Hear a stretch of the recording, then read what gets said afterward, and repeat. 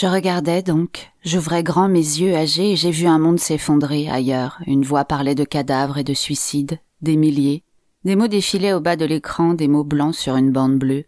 Je repensais au peintre, à la chaleur de sa main sans vie, à son regard. Je revoyais son ombre sur le mur. Je ne comprenais pas. J'ai pensé aux dernières heures de Margot, à cause de la fumée planant sur cette ville lointaine que je ne connaissais pas, que je ne verrais jamais, qui devenait l'enfer. Après, je me souviens avoir regagné ma chambre. Je fixais le calendrier. La vue d'un ciel gris et bleu demeurait. C'est alors que j'ai entendu une cloche.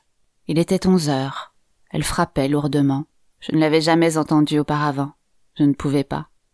De ma fenêtre, je cherchais la flèche noire et la croix, surveillant le balancement de la masse vibrant au-dessus du toit.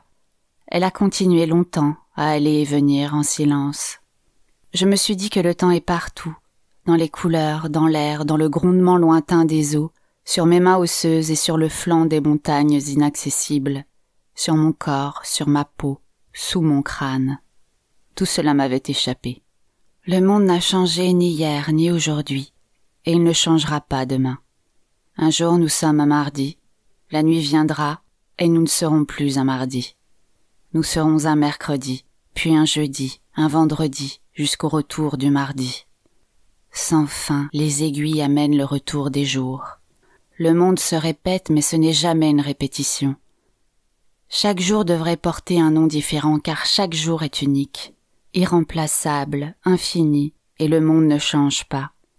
Seuls nos regards se transforment.